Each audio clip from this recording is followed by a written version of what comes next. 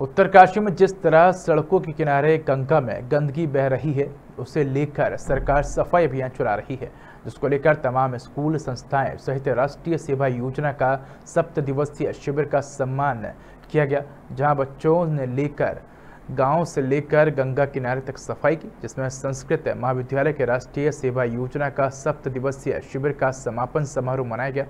इस कार्यक्रम में प्रभारी डॉक्टर द्वारिका प्रसाद नोटियाल ने बताया कि सभी छात्रों ने सात दिनों तक ग्राम बस्ती तथा गंगा किनारे सफ़ाई अभियान चलाए हैं।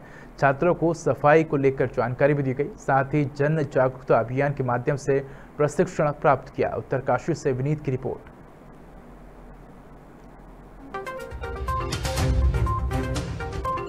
लोगों के श्री विश्वनाथ संस्कृत महाविद्यालय उत्तरकाशी का सप्त दिवसीय शिविर चला है। इसके माध्यम से हम लोगों ने बग्याल गाँव और इधर विमलेश्वर मंदिर, मैडांडा में सफ़ाई अभियान चलाया, छात्रों को ले गए। और आज हमने समापन समारोह के उपलक्ष्य में सवेरे 10 बजे से और 12 बजे तक यहाँ गंगा घाटी, गंगा का जो ये किनारा क्षेत्र है, उजेली से लेकर तिलोक के पुल तक सफ़ाई की, जो भी वहाँ पर प्लास्टिक था नगर पालिका अध्यक्ष से हमने बात की।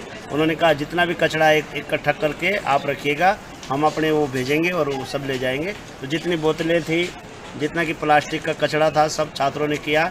यहाँ पर संस्कृत महाविद्यालय में संस्कृत के साथ साथ छात्रों को सर्वांगीण विकास के लिए यहाँ पर अनेक कार्यक्रम चलाए जाते हैं।